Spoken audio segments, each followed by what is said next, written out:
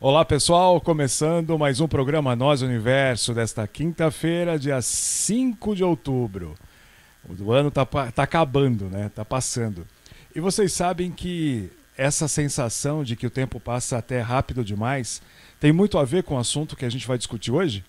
A gente vai falar hoje sobre o, a poluição eletromagnética e o envolvimento ou a relação dos seres humanos com o campo magnético da Terra com a frequência de ressonância Schumann e outras curiosidades muito importantes relacionadas ao nosso modo de vida em relação a, essas, a esses fenômenos que, em parte, são naturais, no caso aí a frequência de ressonância Schumann e o campo magnético da Terra, o que já não, já não se é, relaciona é, de, de uma maneira mais saudável né, com aquilo que a gente chama ou tem chamado de poluição eletromagnética. Mas vamos lá, hoje eu estou desacompanhado das, das, das, minhas meninas, mas é, elas estão fora de São Paulo, também estão é, a trabalho e a gente hoje então faz o programa sozinho. Bom, começando com o programa então é, sobre eletromagnetismo de um modo geral, é, eu tenho para eu tenho que definir com vocês é, o que a gente chama normalmente de é, poluição eletromagnética. Eu não sei se vocês sabem, mas todos os aparelhos eletrônicos, desde um barbeador, a um secador de cabelo, a uma máquina de lavar, a um micro-ondas, nem fala, mas todos os aparelhos que, que usam algum tipo de corrente para funcionar, corrente elétrica para funcionarem, eles geram, eles emitem um campo magnético. Esse campo magnético uh, é muito parecido com o campo magnético da Terra, no sentido dos seus fluxos, mas cada campo magnético funciona, opera dentro de uma frequência determinada. Essa frequência é determinada normalmente pela unidade Hertz, que é, leva o sobrenome do, do pesquisador que na época uh, detectou a presença dessas ondas, né, desses ciclos. Uh, e, essa, e, o, e, a quantidade de hertz que nós temos dentro de, uma, de um determinado campo magnético é, na realidade, a quantidade de oscilações que nós temos dessa corrente em um segundo. Para vocês terem uma ideia, a luz, a luz que nos ilumina, ela é um, é um espectro magnético também. Mas para vocês terem uma ideia, ela passa alguns trilhões de vezes, ela tem alguma, alguns trilhões de oscilações em um segundo. Uma corrente elétrica normal, vamos dizer assim, aquela, aquela de casa, ela, ela oscila entre 50 e 60 vezes por segundo como eu estava falando da luz, é justamente para vocês terem a noção e a percepção de que a luz é uma frequência eletromagnética que nós enxergamos, justamente porque ela tem, ela tem uma, uma, uma frequência super alta, né? E ela impressiona a nossa rotina, eh, a nossa retina e por isso que nós, nós a enxergamos. Já as correntes que nós temos ao redor de nós, inclusive eu, enquanto gravo aqui para vocês, estou cercado delas, né? seja pelo celular, seja pela, pelos equipamentos de gravação. Esses, esses aparelhos eles emitem um campo magnético justamente por conta dos seus funcionamentos é, que, que é, possui uma frequência que oscila entre 50 e 60 Hz, como eu estava explicando. Muito bem. Ah, o nosso programa, se a, gente, se a gente realmente for pegar assim do comecinho, a gente vai ficar várias horas aqui conversando. Mas para tentar sintetizar, a poluição eletromagnética para nós hoje, é, e quando eu falo nós, eu, eu, tô, eu, me, eu me junto há uma quantidade enorme de pesquisadores que vem desde a década de 80 tentando provar a interferência nociva, negativa, desse tipo de frequência, desse tipo de eletromagnetismo na nossa vida. No programa passado, inclusive, nós falávamos sobre a. A gente discutia sobre a cura gay. E a gente, buscando informações sobre é, a, a questão biológica que cerca essa mudança né, sexual, essa mudança na orientação sexual, nós acabamos é, descobrindo ou associando a possibilidade de que, partindo da premissa que alguns pesquisadores, os australianos principalmente, em 2008 levantaram, de que uh, o homossexualismo seria, uh, na verdade, uma mutação genética, ele, ele seria decorrente, ele decorreria em função de uma mudança genética, então nós associamos a possibilidade de alteração desses genes em razão da, da, da grande da massa tecnológica, da massa de equipamentos eletrônicos sobre as quais a gente está é, é, tá interagindo desde o dia que, em que a gente nasce. Foi provado que esses campos magnéticos, e a gente vai entrar já já um pouco mais fundo nesse assunto, vou falar inclusive o nome das pessoas, é, foi provado que os campos magnéticos, sim, esses campos gerados por equipamentos, por redes de alta tensão e tudo mais, eles sim interferem no comportamento celular do ser, do ser humano, né, em nível celular, e isso causa, isso traz alterações. Uh, o câncer foi uma das primeiras linhas de, de, de pesquisa uh, que a comunidade científica adotou para tentar estabelecer uma relação entre a poluição eletromagnética e uh, uma doença humana, né? no caso aí a pior, uma das piores aí que é o câncer. E tudo começou em meados de 1979 nos Estados Unidos, uh, através da percepção de uma bióloga e socióloga é, ligada à Universidade de Columbo, né? Ela percebeu, ela, ela, ela teve um, um intuito, é, o, o, o, o, insight de que crianças estavam adoecendo, ju, é, de, é, tendo, apresentando mais câncer é, no sangue, ou seja, a leucemia, porque moravam próximas a transformadores de energia e torres de transmissão é, de rede elétrica. Ela só desconfiava disso. Ela pegou 900 crianças e começou uma pesquisa sobre esse assunto e descobriu que de fato, as crianças que viviam próximas a essas linhas de transmissão ou a transformadores de energia, aqueles que ficam pendurados no poste, elas tinham duas vezes mais chances, ou seja, na realidade, é, du é, duplamente é, mais facilidade de adquirirem esse, esse câncer no sangue, a leucemia no caso. Ela fez esse trabalho com 900 crianças, isso remonta ao ano de 1979, conforme eu já disse, e o nome da pesquisadora é Nancy o Wetheimer. Wetheimer.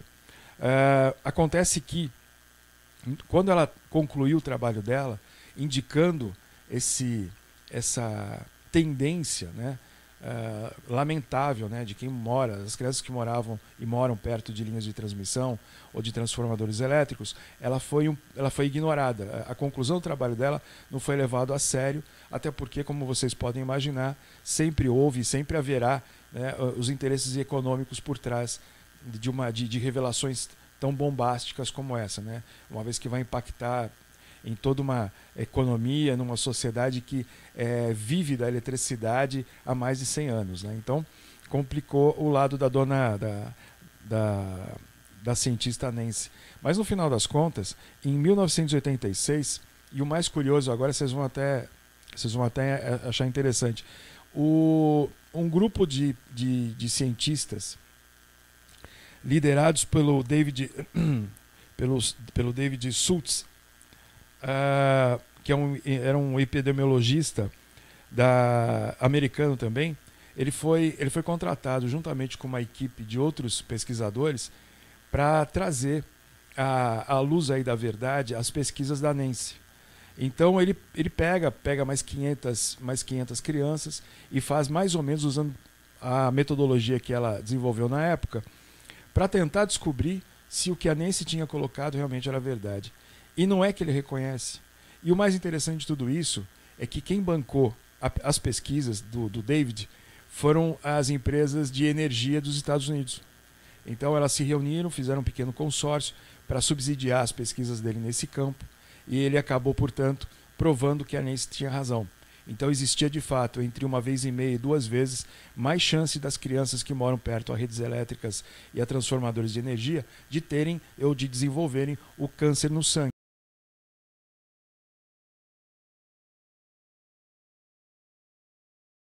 depois é, comprovado em 1986 nos Estados Unidos, uma série de pesquisadores passou a se dedicar ao estudo das interferências eletromagnéticas, portanto, né, é, geradas a partir da eletricidade, de um, modo comum, de um modo geral, é, nos seres humanos. É daí também que vem a, a filosofia de, de, atuação da medicina ortomolecular. É, ela, ela, dete, ela detectou é, e ela assume que realmente esses campos interferem é, na saúde humana. Então, a diferença só é que a medicina ortomolecular, ao longo dos últimos anos, Ela, óbvio, se baseou em estudos como esse, mas também é, a gente entende que, é, é, como, como sendo um braço da ciência, ela deveria também buscar explicar e provar é, essas interferências. Então a medicina, na verdade, partiu dessa premissa e imediatamente criou um novo conceito de medicina apoiado nas primeiras pesquisas que foram realizadas, como eu estava contando para vocês, nos Estados Unidos.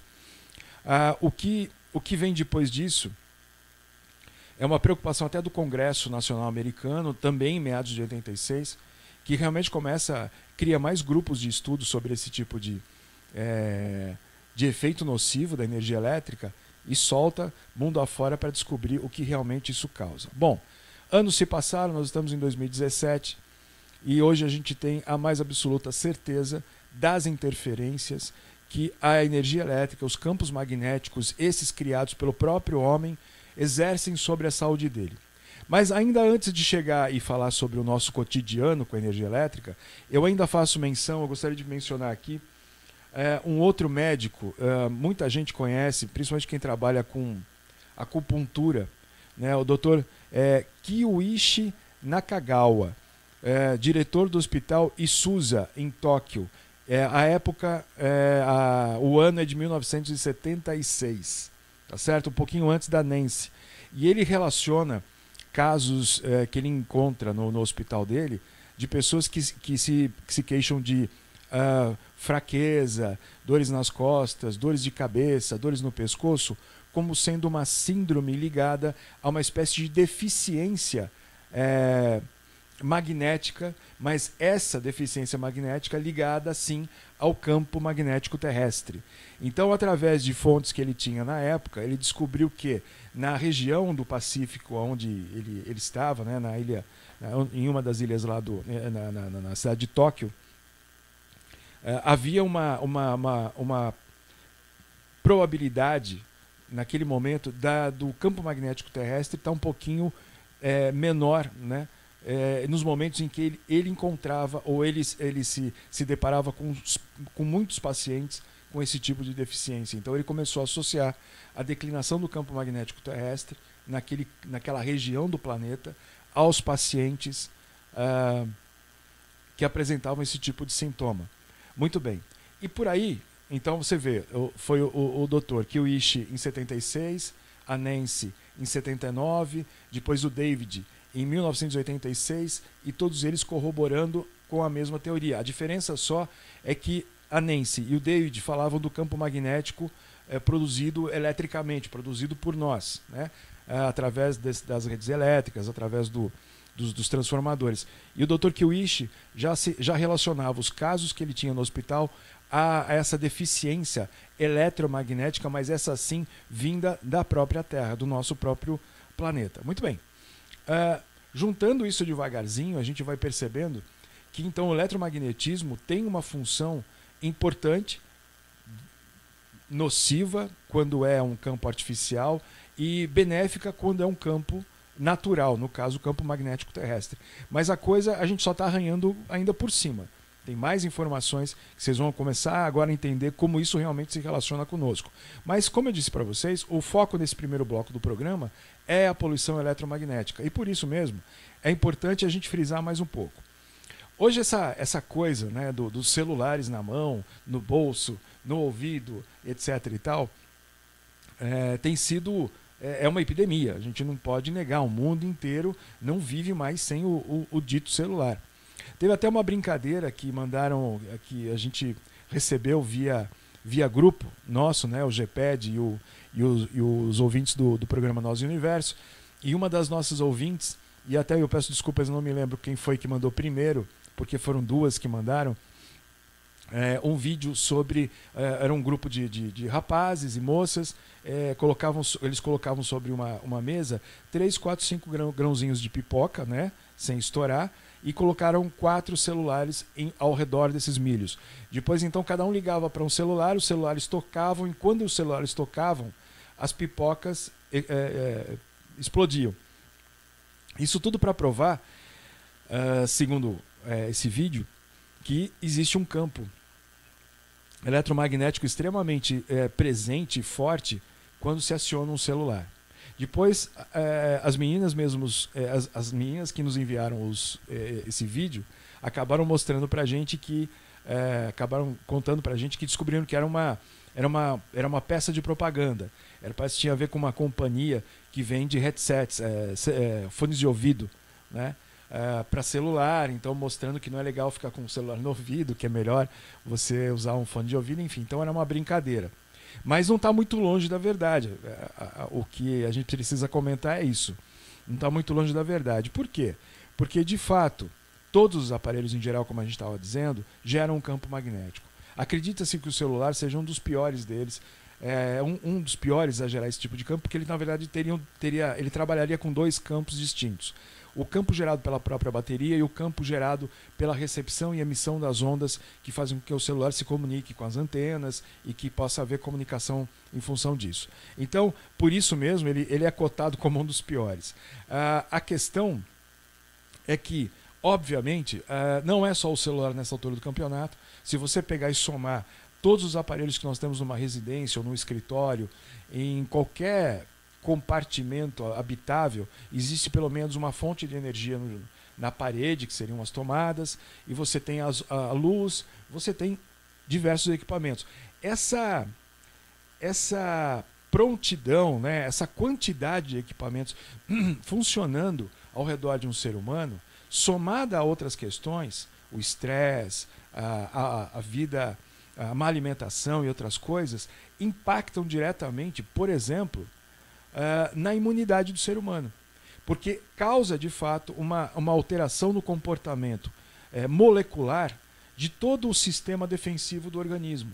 E quando a gente fala causa uma modificação a nível molecular, tô, a gente está falando exatamente isso mesmo. As moléculas passam a se comportar de maneira diferente, há uma alteração na dinâmica delas. Eu sei que às vezes é um pouquinho difícil de entender, mas as moléculas e as células, elas têm todo um, um sistema, elas têm uma, um, uma estrutura e que depende muito do sincronismo, da, da consonância, não vou nem falar em ressonância, quero que vocês entendam realmente filosoficamente o funcionamento da célula é, e da molécula. Elas, elas, elas trabalham em harmonia. Então elas estão em consonância, elas trocam informações. A, a, no momento de trocar informações, a abertura celular, há uma abertura na membrana da célula e ela se comunica com a outra através, por exemplo, de um, é, de um estilo é, é, eletro, eletroquímico, como é o caso, por exemplo, dos neurônios no cérebro. Então, você percebe que quando você aproxima, por exemplo, um campo magnético dessas células, elas ficam mais excitadas e elas abrem prematuramente a sua, a sua membrana para se comunicar com, com outra célula. E aí é que você percebe que então a, o eletromagnetismo interfere no comportamento delas. Então você imagina colocar um aparelho que tem ali uma dupla fonte né, de, de, de, de ondas eletromagnéticas perto da cabeça você com certeza ficar muito tempo com ele, você vai alterar ou você vai excitar, você vai alterar momentaneamente que seja, mas imagine isso a longo prazo, você vai alterar o comportamento celular dos seus neurônios. O comportamento dos seus neurônios, para não, não compridar muito a conversa por aqui. Então, de fato, é algo muito preocupante. Muito preocupante mesmo. Agora, como é que a gente faz, né? Se a gente vive num mundo eletrônico, se a gente vive debaixo de tanta tecnologia, como é que a gente faz para amenizar isso? Eu acho que, dentro do que a gente pode entender, falando ainda sobre poluição eletromagnética, deve haver um consenso no sentido de que é, novos comportamentos devem ser é, é, é insertados né, na comunidade eh, mundial, é, explicando que, olha, a exposição a tal equipamento durante tanto tempo pode causar isso, aquilo. Exatamente como é o cigarro, que vem hoje com aquela informação é, pre, é, preventiva né, sobre o câncer, as fotos, etc. Mas teria que se criar alguma coisa muito parecida com isso. E nesse sentido é que a gente consegue enxergar alguma, uma, não uma solução, mas pelo menos uma forma de amenizar essa situação ligada ao eletromagnetismo é, artificial, vamos chamar assim, ou à poluição eletromagnética, porque de fato ela interfere severamente na nossa vida começando pela imunidade, pela, pela quebra da imunidade, e, e podendo trazer para outros órgãos do, do, do nosso corpo é, é, disfunções justamente por conta da exposição prolongada a esses campos. Certo? Então vamos fazer uma paradinha rápida, a gente volta já já com mais programa Nós e Universo.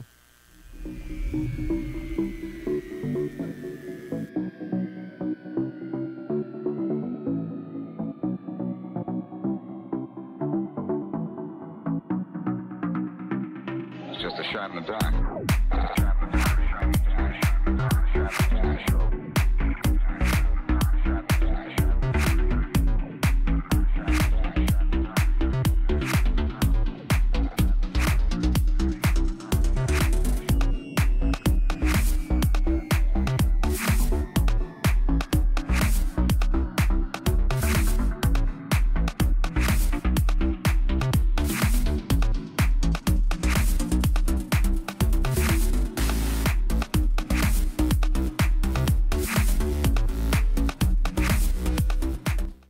Oi, pessoal, estamos de volta aqui com o programa Nós Universo e hoje a gente está conversando sobre eletromagnetismo. Muito bem. Dentro da, da ideia do, do eletromagnetismo, no primeiro bloco do programa, nós falamos sobre a poluição eletromagnética, né? essa chuva, de, essa enxurrada de tecnologia sobre a qual é, sob a qual a gente vive e que já interfere, interfere na verdade há muito tempo na saúde humana. E a gente propôs ali no, no bloco passado de que uma solução, não uma solução na verdade, na verdade um paliativo, mas que já começaria a ajudar um pouquinho seria a, o, o, o, as empresas que produzem essa tecnologia indicarem né, nos seus rótulos, nas suas etiquetas, no manual desses equipamentos, uh, que a exposição prolongada àquele equipamento pode causar, pode gerar isso, pode gerar aquilo, tal qual como fazem hoje com o cigarro e outros produtos que são tóxicos à, à saúde humana. Mas eu tinha comentado também que agora no segundo bloco nós conversaríamos um pouco mais sobre uh, os campos magnéticos naturais. Então, a gente vai falar agora, a partir desse instante, sobre o campo magnético da Terra e aquilo que todo mundo fala, mas pouca gente conhece mesmo, sobre a frequência de ressonância Schumann. A frequência de ressonância Schumann, começando exatamente por ela, foi descoberta, eh, foi teorizada eh, pelo, pelo físico alemão W.O. Schumann em 1952, mais ou menos. Em meados de 1960, ela foi comprovada, ou seja, ela foi provada. É, e ele e Schumann dizia o seguinte: há um campo elétrico ao redor do planeta a despeito, ou seja, sem ter interferência, ele tem uma correlação, mas não é produzido por ele, não tem nenhuma relação com o campo magnético da Terra. Mas eles trabalham juntos e vivem dentro de uma certa harmonia. Então, para vocês entenderem mais ou menos o que eu quero dizer, uh, você tem um campo magnético da Terra, uh, numa camada mais afastada do solo, né? mais distanciada do solo, mais de 100 quilômetros de distância do solo, e entre essa camada, a magnetosfera, e o solo terrestre, há então essa, esse campo elétrico é, que pulsa e que é formado essencialmente é, pela, pela eletricidade gerada pelas chuvas, pelas, pelas nuvens de, de, de trovão, né, de raios e relâmpagos, enfim, que caem pelo mundo todo o tempo todo. São essas descargas elétricas que mantêm energizado, mantêm ionizado essa camada, essa, esse manto elétrico que reveste também o planeta. Veja, isso é gerado pelo clima, não é gerado pelo planeta. Então, Schumann descobriu que essa quantidade de eletricidade que, que reveste o nosso planeta, uh, ela tem uma pulsação. Ela tinha uma pulsação. E quando Schumann teorizou isso, ele estimou que ela, essa pulsação chegasse a 7 ciclos ponto 83, mais ou menos o que foi comprovado depois como sendo exatamente isso. Ou seja, esse campo elétrico que vive ao nosso redor, ele tem ele, ele, ele pulsa a 7,83 ciclos de hertz por segundo. É uma frequência que está aí, é um eletromagnetismo, é uma frequência que está aí desde os tempos, desde os primórdios do planeta, né? Desde que, desde que, desde quando a nossa atmosfera uh, realmente, é, inclusive essa atmosfera que nós temos hoje é a segunda, porque a, a, atmosfera primordial da Terra era feita, era composta de outros elementos, né? e ela depois foi, na medida em que uh, o fenômeno chuva é, começou a, a, a, acontecer e o planeta começou a resfriar, muito vapor de água foi efetivamente para a atmosfera e compôs a nossa atmosfera de hoje. Então, essa, na verdade, é a nossa segunda atmosfera. E desde que ela está por aí, ela vem gerando esse campo é, elétrico né, ao redor do, do planeta. E, como eu estava dizendo, ele tem a tal da pulsação, que é a tal da frequência de ressonância Schumann. Acontece que quando Schumann descobriu isso e quando foi confirmado alguns anos depois, é... apenas os alemães e os, e os, então soviéticos, agora russos, né, é... levavam em conta ou, ou, ou se preocupavam em compreender as relações dessa frequência, desse pulsar, com os seres vivos. Os americanos, quando tomaram conhecimento dessa, uh, dessa frequência, da frequência Schumann, eles buscaram entender o funcionamento dela em relação ao globo.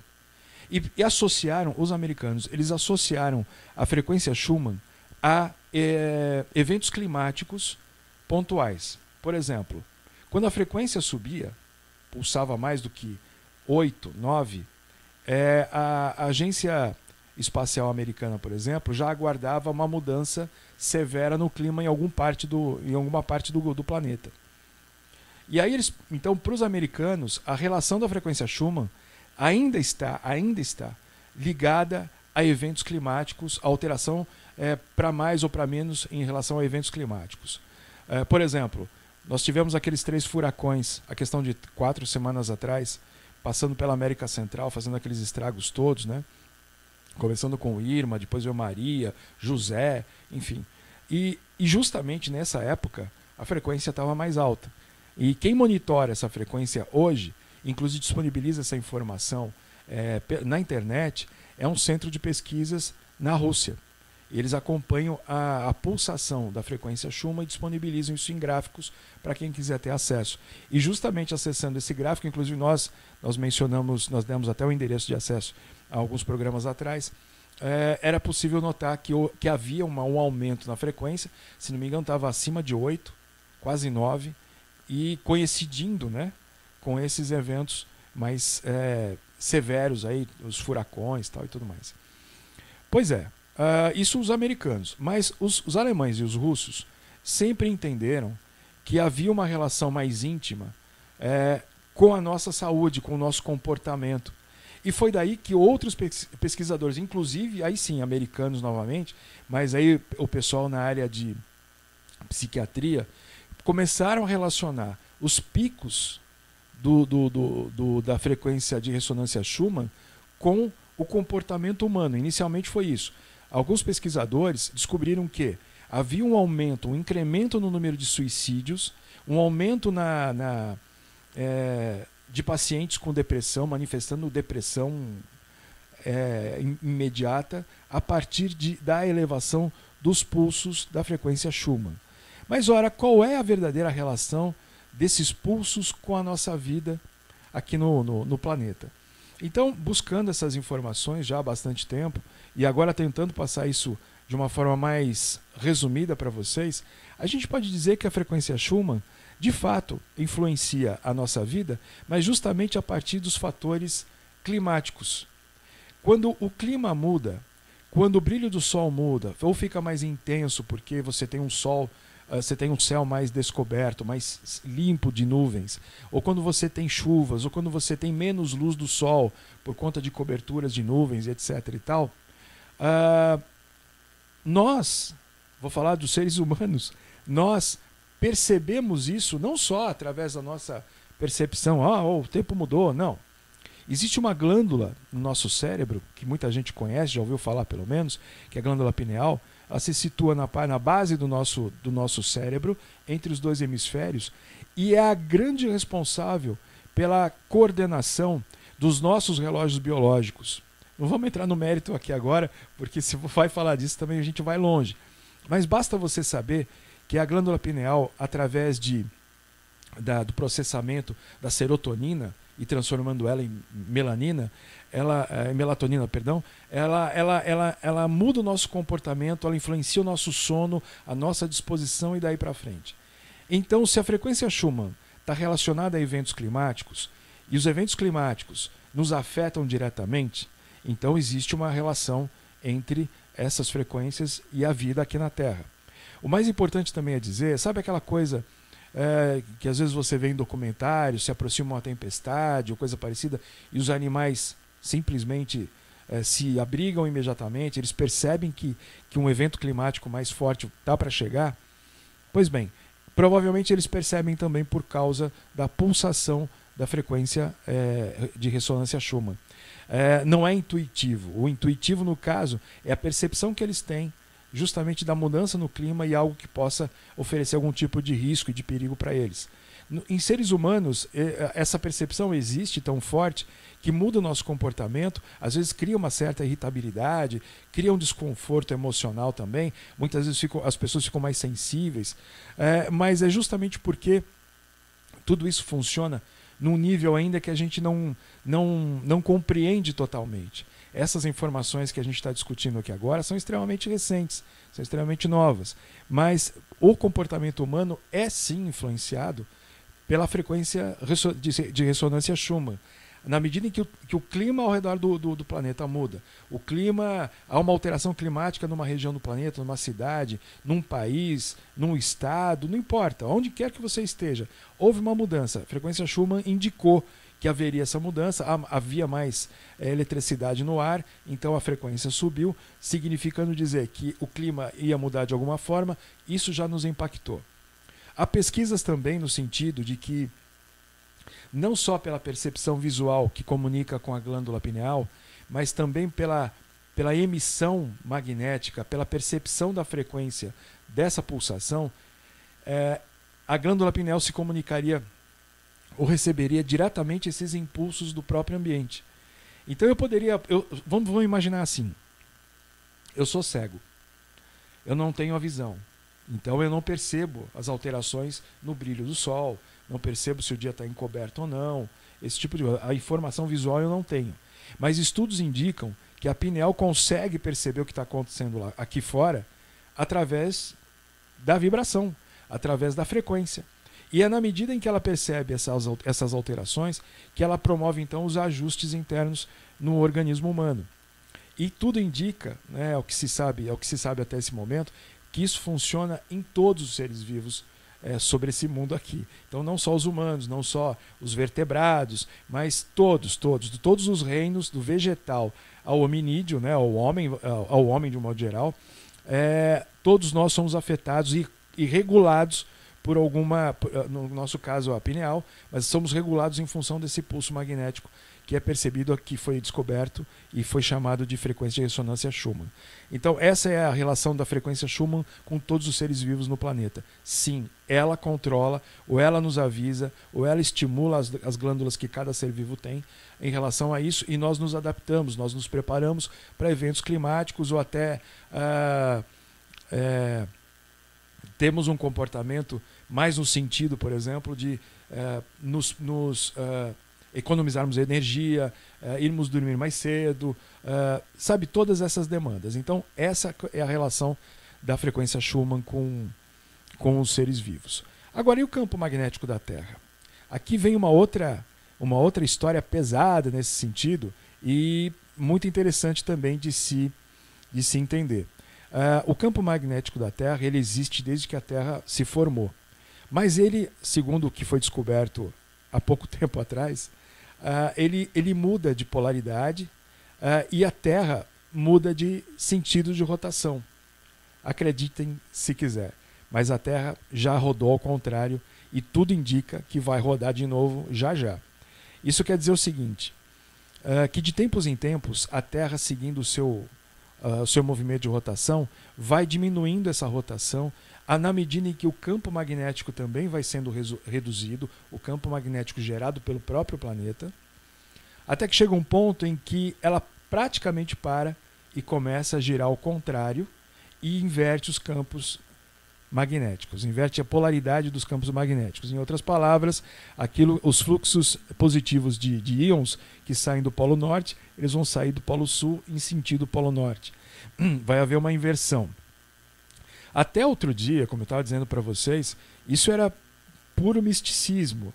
Coisas que, coisas assim, os povos mais antigos, os astecas, os maias, é, muita gente profetizando até na Bíblia, parece que tem uma passagem que fala sobre isso, acho que é São Mateus, se não me engano, é, falando sobre esse, esse momento em que a Terra teria um dia muito longo em alguns lugares, muito longo, mais de 20 horas, e em outros lugares teria um, uma, uma noite também muito longa, e representando o momento em que a Terra estaria praticamente parando para iniciar esse novo movimento de rotação, né, no sentido contrário.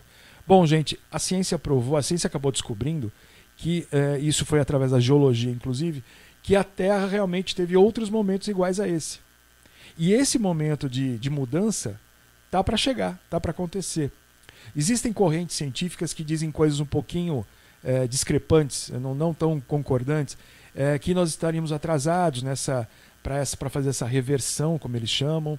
Existe um, um, um, geólogo americano que seria, na verdade, a, a maior autoridade no assunto, que é o, o Greg é, Braden. O Greg Braden é um geólogo, um dos caras mais conhecidos, né, com muito material aí na mídia, uh, e que fala sobre esse assunto uh, e, e, cruza ciência com, com misticismo. Mas eu, pelo que eu consegui apurar do trabalho do Greg, o Greg faz uma, um comparativo bem interessante, mas ele segue rigorosamente o que a geologia prega, mas ele associa a lendas e mitos é, esotéricos, né? É, trazidos de antigas escrituras, esse tipo de coisa. Bom, deixando essa história um pouco de lado, vamos aos fatos, vamos aos fatos propriamente ditos. Uh, em 2012, se não me engano, 2012, 2013, o governo norte-americano colocou o projeto Swarm no ar. e esse projeto Swarm é, é, composto por três satélites que monitoram principalmente é, é, as condições de emissão ou de ejeção de massa coronal do Sol e observam também a, o comportamento da, do campo magnético terrestre. Uh, eu tive acesso a umas imagens, eu vou ver se eu consigo colocar aqui para vocês, verem como o campo magnético da Terra tem se alterado.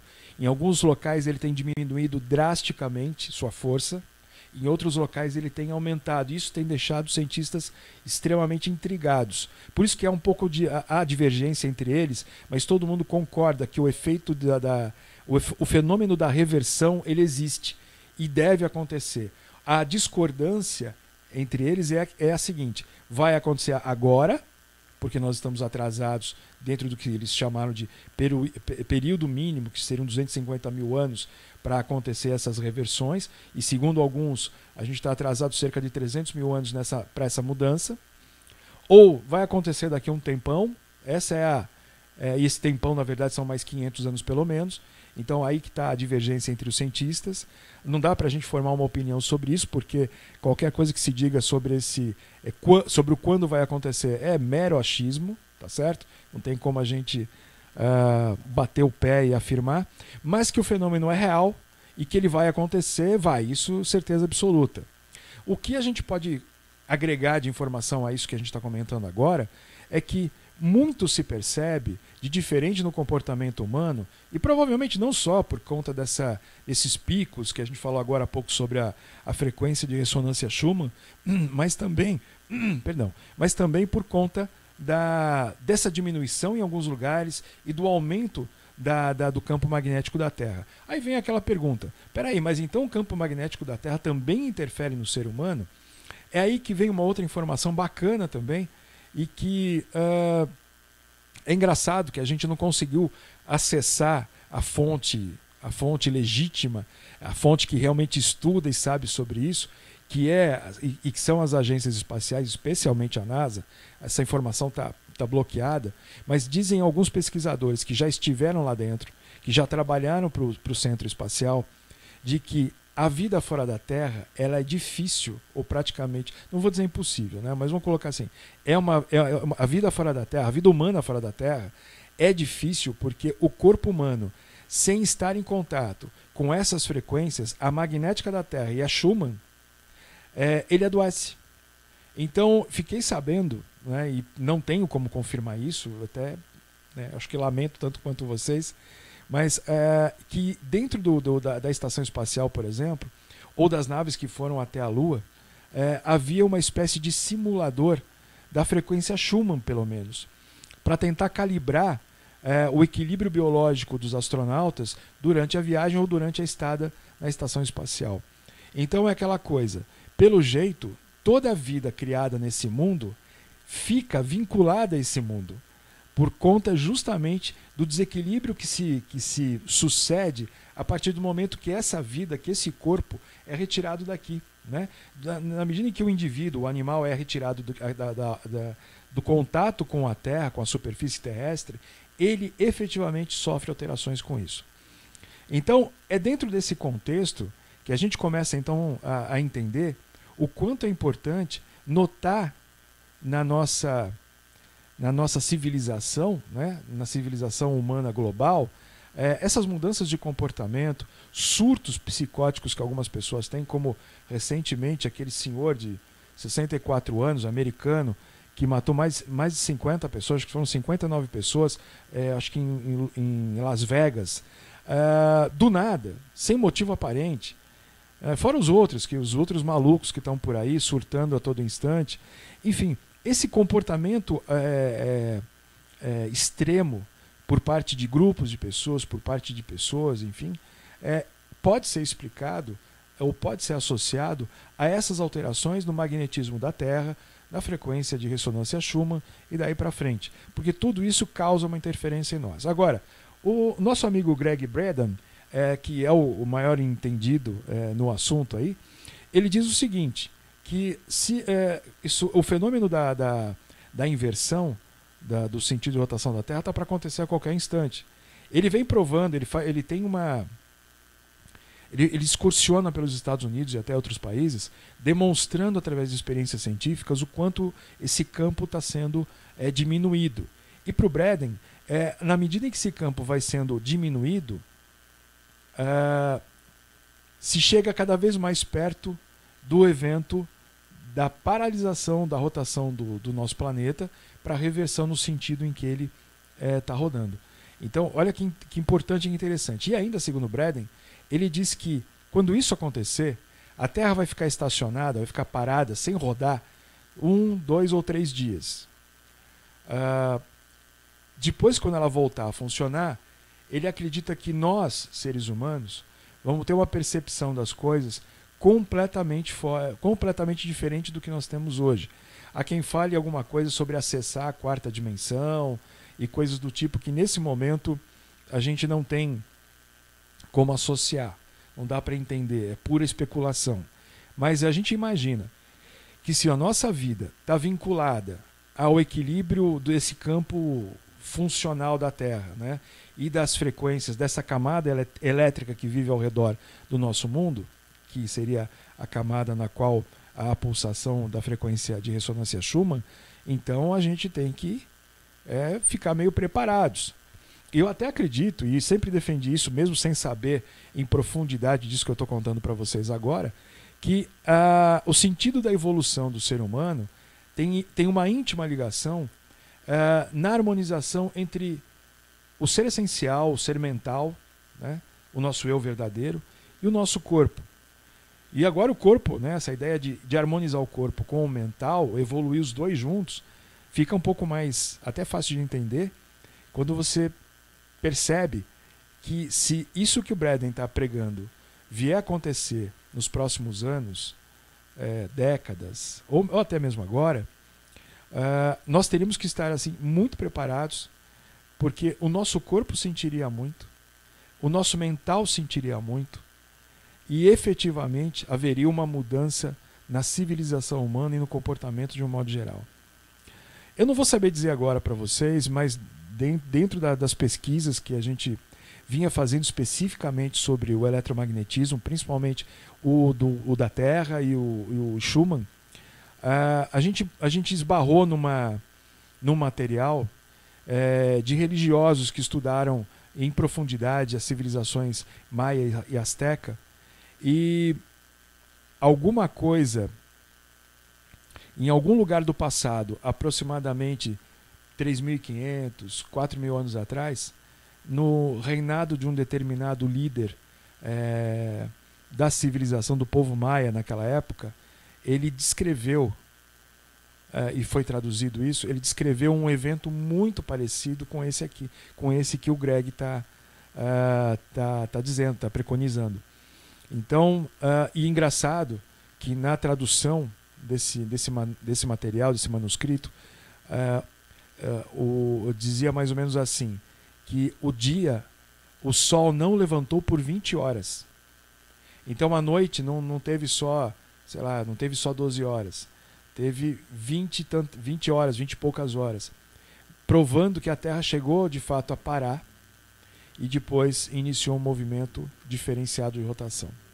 Bom, é óbvio que o programa Nós Universo não traz esse tipo de informação para alarmar, para apavorar ninguém, nem nada. Né? A ideia aqui é muito simples: é trazer para você uma informação que a mídia normalmente não traz e que é de suma importância para que a gente possa, de repente, investir mais tempo na nossa evolução mental, física, procurar buscar dentro de nós é, essa, essa verdade, né? sentir essas verdades e procurar o nosso, o nosso equilíbrio da melhor forma possível e a qualquer custo, porque nós, eu já acredito, eu acredito piamente no que eu vou dizer para vocês agora, esse processo não vem de hoje. É, eu acredito que essa inversão de polaridades, essa mudança eletromagnética, ela está se acentuando agora, mas ela vem vindo desde 1998, 96 e ela está só piorando nesse momento. A gente vê o mundo realmente entrando em colapso. Então, eu acho que é, é a hora da gente buscar o nosso equilíbrio físico e mental.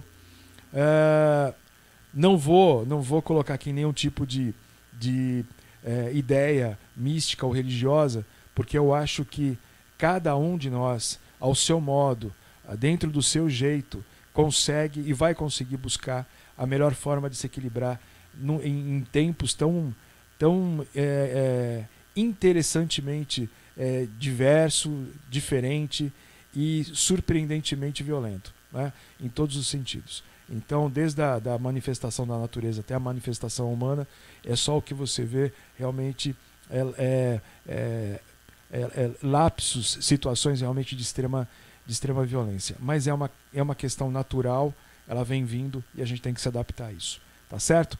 Então a gente agradece mais uma vez a tua, a tua, o teu interesse pelo nosso programa. Um forte abraço para vocês e até quinta-feira que vem, se Deus quiser. Até mais.